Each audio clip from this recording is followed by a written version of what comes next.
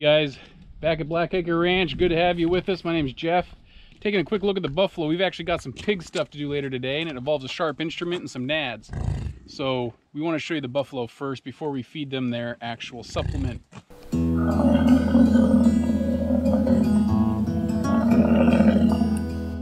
This is them. Number 92 they still look really good. She's kind of feisty. You can tell from all of the actual calves they're getting big, right? They're starting to change colors. Not so much that orangey kind of color. Anyway, most of the time when we show you guys these animals, they're always sitting way yonder over there because they're fighting for food. Hey, Debbie, what's up, girlfriend? She's short, she's stout, but she's got a nice hump on her. But anyway, the animals are always fighting for their food. And so we thought, well, geez, why don't we just show you these animals before we get over there? You can tell all these calves are generally about the same height. Some are a little bit smaller. This one's a wee bit weir. But otherwise, they're all sitting here black-faced, and the rest of the body is starting to change. If I shut up long enough, you can hear the moms calling for their calves. And they're just staring at me. All right, so number four, I don't know her name. Bug knows all these names. 18, that is the cow I never see but she does exist. She does exist. So here are all the little moms. What we've been noticing recently is a lot of these calves are actually eating a lot of hay. So one theory is, you know, you want to go ahead and supplement these calves with a, uh, a creep feed. You know, where you could actually sit there and um, help them transition from milk, like this chick, to a solid feed. But my experience looking at these guys, man, in other years is these cows they do start to wean about six months or so anyway, and these were born April and May for the most part. So by the time we do all the weaning in November, they'll probably be pretty well worked down, right? Weaned almost. But like you see this little guy, they find their own hay and they start eating. And these guys have been eating it. In fact, they eat the supplement and they eat the hay. So anyway, this is the buffalo herd that's over here. The other part is way over there and I don't think they're coming over because they're waiting for food, and that's where the two bulls are. But anyway, yes, 18, I know, I know. Oh, and here's little kisses, our one-eye wonder. If you don't know, guys, her right eye, if you see that little cloudy spot, she got injured in her right eye, and she's actually blind to some extent in her right eye. You see that? Oh, so she doesn't see too well. So she is kisses. All right, we're gonna let these ladies eat and continue going. You can tell that they are making a mess of things and we could use some better hay feeders. Um, but that's another day, another fight, a different time. All right, let's go check these guys over there and hopefully bring some food so you can see the bulls. Ahmed, you gotta let us in, boy. There's a crowd up here at the gate. 92. Hey, what made you come over here? They've gotten a lot more accustomed to this handling facility now that we've had them working through it. So when it comes time that we have to wean these calves off and work them, I think it'll be a little bit easier. All right, Bartok, you gotta move, dude.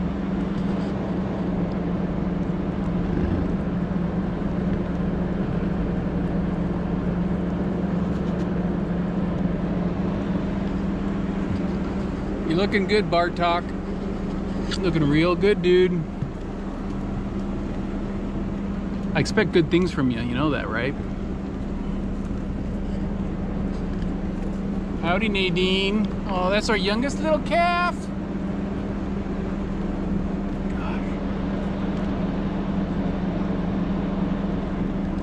First one is always the hardest, guys. Nope, nope, nope. I'm gonna cut you off. I'm gonna cut you off. I'm gonna cut you off. Nope. and they get too clustered. All right. Hey, Ahmed.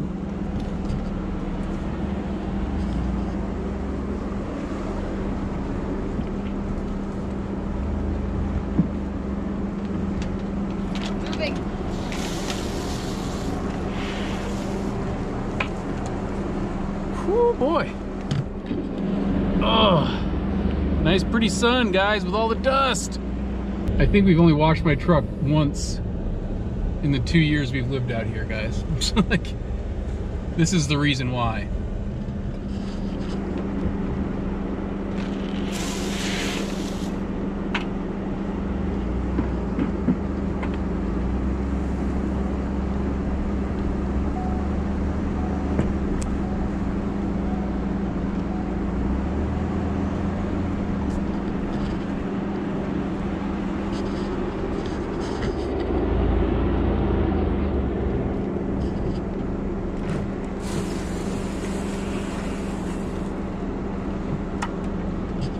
See all the sand, guys. It's seriously like drowning.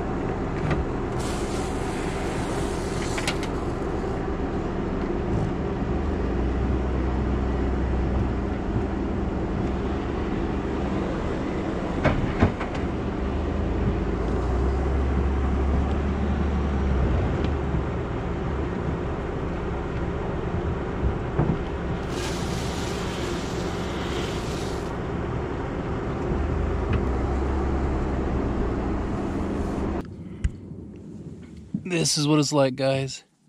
Just sand. There it's solid, but it's got about three inches of sand on top of it.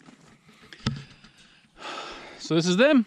This is the customary picture you guys are all so accustomed to, right? The one that you guys see. A couple days ago when we were feeding them, everybody stood still in their own troughs for like three minutes, and it was really cool. Nobody shuffling around or anything like that. Having six troughs makes all the difference. That's about one it's about four per trough, I think is actually really good. On adults, you can't get much more than that. On the yearlings, we could get like eight of them on a trough, and it wasn't that big a deal. But not these guys. All the moms look good. We're gonna leave these guys here. These are our little calves. We still have 17 of them. The moms look great. The bulls look good. Bartok's looking great, man. If you saw him two years ago, you'd be like, wow, that dude's some champ. He's looking really nice. So anyway, Let's get over the pigs because we've got some work to do on those two. Today is the day that we castrate them. We take two boys and make them, oh, they're still boys. But anyway, they're not gonna be as comfortable. And we adjust, and of course we're gonna, I guess, wake them up. Not so nice of dreams. We got our little dogs with us. Hey, Lizzie. Oh, yeah, Lizzie, Lizzie. so hyper. And there's our little puppy, our little bear, our little bear, Darcy. All right, guys. Oops. Gotta find these pigs. All right, here's one. We gotta find the boys. Now, we tried grabbing them before, and Harriet was definitely aware when they started to squeal. Harriet's over there. And this one is Ariana. Yeah. Anyway, pigs. Oh, that's a boy. So we got to figure out how to do this in a safe way. And this is the boy right here. So we got two boys sitting right over here by Ariana. All right, let's see how we get this done. Okay, so our idea is that we're gonna send one of our children in there to go pick up the pigs. Um, we don't want them right next to the mom when they do this. So we're trying to figure out the strategies. Not sure how this is all gonna work out, guys, but um, yeah, kind of moms get back down and we're gonna see maybe could we lure the pigs, but once we get the pigs, there's only two, two boys just right up here. We might put them in the here or we're just gonna have one of our kids hold one and have the other one hold the other. And then we're gonna take them away from mom on the other side of the hay in the pavilion probably over there and do our little our little work. Why don't you go get one of the pigs and see if you can pick them up and bring them over here. Maybe Charla and Sandra hold them. That's one of them. Grab a flag. Just pick it up so it doesn't squeal.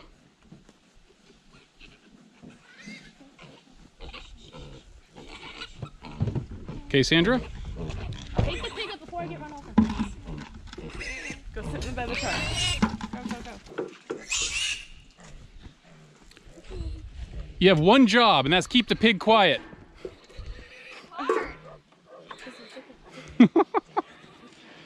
The mothers are uh, awake. All right, why don't you go over there and go give it to your mom across the fence over there to our left.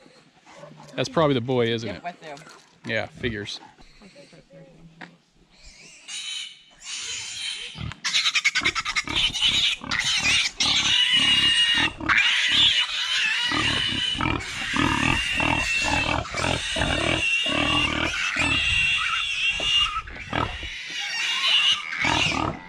So guys, now you know how I feel, right? Come over here. What do you think? No, back. All right. That's how you treat all your men?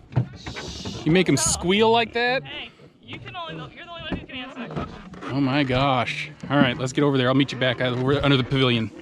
All right, she's consoling them. They are cute little piggies, though. They're getting so um, big. They're getting kind of stout, chunky, aren't they? Good boys. Good boys. Good boys. All right. this is what we're going to be using, guys. A sharpened scalpel. A castration kit from Tractor Supply. We've got three number 10 sterile blades and three number 12 sterile blades. I'm just going to grab a sterile blade. Now, as a dude, you do have some sympathy with this. We do need to do this. These are not going to be breeding pair. This is going to be ones that are just uh, slaughtered for meat. So you don't want the testicles having all that testosterone, getting that taint in the meat. Wow. Piggies. Shh. Yeah, that made it worse. Anyway, you don't want all the taint in the meat. So once they start getting maturity and other things like that, they're going to start having more of that stuff in the meat. And so people don't like that. Let's get to it.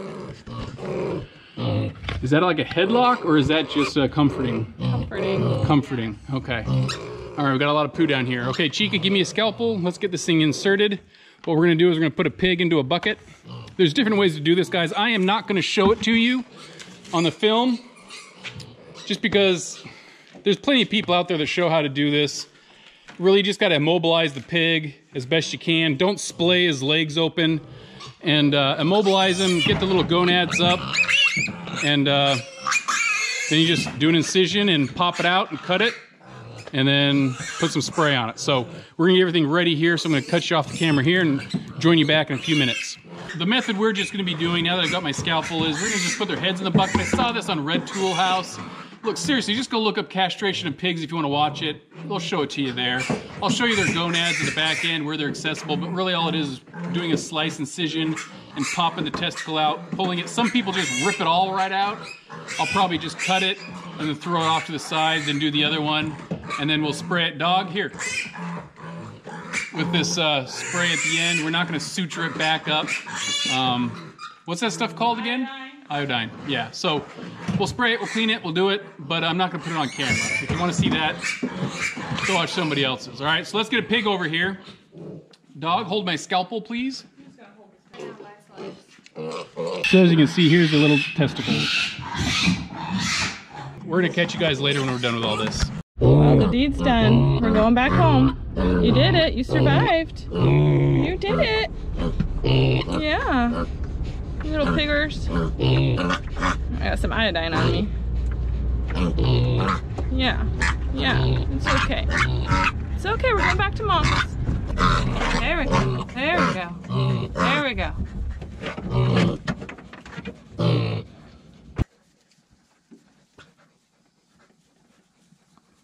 We're gonna take you home. It's okay. It's okay. All right, we got them done. Just trying to clean my hands off a little bit.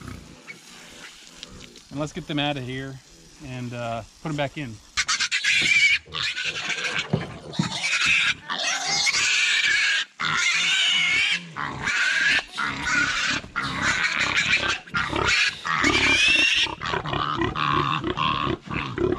Piglet number one.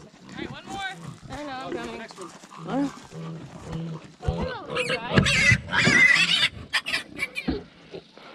You were the nice. I like you.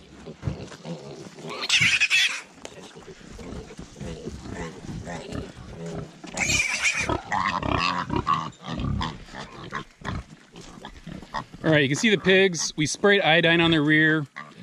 They'll be fine. Yes, it's dirty. They're just gonna rub their stuff in the ground. They're just gonna like rub it anyway. So you know, stuff I've seen online, they're just like, dude, just leave them alone. You don't you don't sew it back up. Just put some of that iodine spray or some other stuff on it, and uh, let the pigs be a pig. So I will say, just some things to remember. Um, these pigs are five weeks old. Their gonads are pretty big. Like, I mean, look at this Hogrid. He's like a year old, man. Look at the size of his gonads. I know that guys, I mean, just look at it seriously. Like, the size of the balls on pigs proportionate to their size of body is ridiculous. Like, if you can do it before five weeks, I would probably do it. Like, I know people have done it like, what, a week old?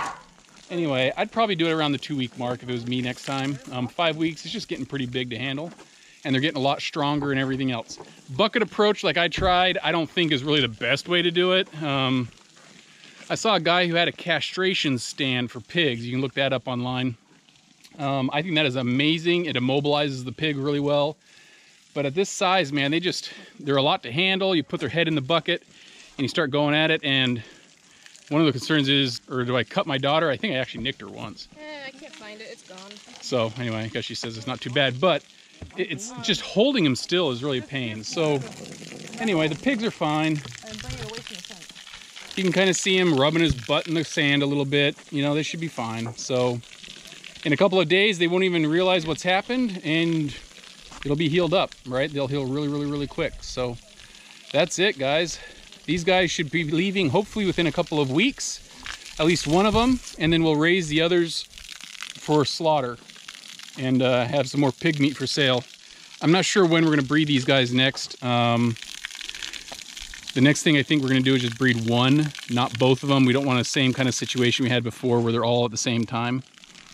So what we'll have to do is get like another pen so that way they can have more of like a farrowing pen and then this is where the other one is and we can send them back and forth with hog. So anyway, those are some things we're thinking about. Oh, poor little guy, you're just rolling around in it. I can't even tell you which ones are the boys anymore. but uh, so that's the future update for the pigs. The things that we're going to be doing in the future, ideally at some point, we still have plans for this. I think this is where we're going to put the dogs. So that'll be the dog run. We'll build something up there for them. Um, it's just been like killer 108, 109, 107. Like it's just been stinking hot that I am not going to be working out here. Even on Saturdays, guys, it's just brutal. So I know everybody's suffering from this heat wave. Wichita Falls, or Wichita, Kansas, I think was like 110. Anyway, just crazy temperatures for every one of us. I wish this high would leave um, and El Nino actually kick in sometime. So anyway, we'll leave it to with you guys here. And uh, and we appreciate you guys following along with us. Keep with us. The pigs are getting big. I want to weigh them before we get rid of them in a couple of weeks and see kind of what their weights are. But otherwise, they're happy, they're fun, and we enjoy seeing our little piglets. They bring a lot of joy. So anyway, catch you guys later next time at Blackacre Ranch. Bye.